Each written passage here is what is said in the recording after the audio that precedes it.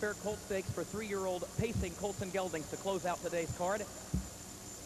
The top five come back Wednesday for a shot at that $50,000 championship final.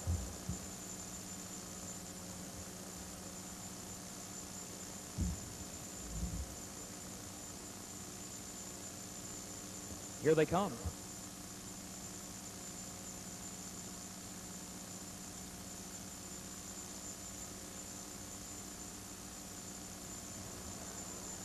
They are off and pacing. Incredible Mo and Les Nomades are showing early speed. Can Sam gets away third toward the inside. Then he's awfully good, followed by Dominator Plus and Winchester's Best, who's caught wide heading into the first turn. Incredible Mo moves up and gets the lead and gets over next to the rail, leading it by a length and a half. Les Nomades goes second by a length and a half. Can Sam travels in third as they go by the quarter mile mark. And then he's awfully good, is racing in fourth. Black Oliver is fifth. The Black Cat is sixth, 26 and 3 for the opening quarter. Fancy Creek Sport is seventh. Winchester's Best on the outside is eighth. Fox Valley Thorn is ninth, and Dominator Plus is 10th and last as they enter the back stretch. Incredible Mo is on the lead with Dave Magee leaning back at the race bike trying to rate that pacer's speed. They're on top by two lengths. Les Nomades is second by a length. Then Can Sam is racing in third. Here comes the Black Cat up on the outside in fourth. He's three and a half lengths off the lead. Moving by, he's awfully good. Fancy Creek Sport moves up with cover.